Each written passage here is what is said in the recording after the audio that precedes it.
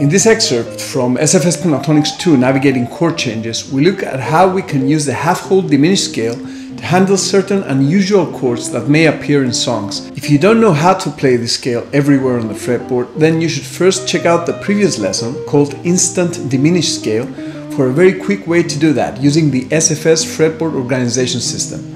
There should be a link on this page to get to it. Okay, now that you have practiced this quick diminished SFS shortcut, it's time to see where we can use it. Later, I'm going to give you an extensive chord list along with what scale you can use over each chord. But now let's concentrate on the half-whole diminished scale. The most obvious application of this scale is when you see a diminished triad, a simple diminished chord. And in this course, we're always going to use the half-whole version of the scale, not the whole half. Here's how that sounds.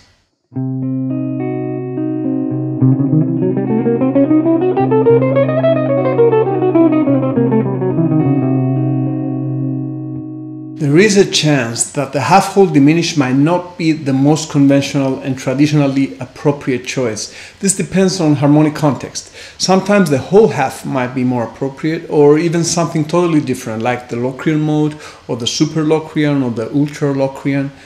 But we don't want to spend the time to cover all these scales right now. And the truth is that whenever you have a high tensions chord like the diminished or an altered seventh chord, the listener's ears are more receptive to more outside sounds. In fact, in jazz and fusion and some other styles, players do this on purpose all the time. They substitute the more conventional scale choice with an outside substitution. So, if it happens that the half-whole diminished scale sounds a bit off over a certain diminished chord, don't worry about it, use it anyway. The trick when playing out is to play confidently so that the sound of the scale becomes more prominent than the sound of the harmonic context and pulls the listener into following your melodic idea. Another important thing is to resolve the tension by voice leading smoothly into the target chord that comes next. I will play you an example of this in a bit, but first I'll show you a few more uses of this scale. Another one is the diminished seventh chord. That's the one you practiced over in the last lesson, so you should be familiar with that. Now one situation where I don't recommend using this scale is over a minor 7 flat 5 chord, also known as the half diminished 7th. For reasons that I'm not going to get into right now, this can sound sloppy sometimes. So instead we can use another very simple solution that's more safe. You can use a modified 3-string pentatonic. You just play the standard 3-string fragments for pentatonics, but move the second note of SF2 one fret back. This works very well for minor 7 flat 5 chords and sounds very cool.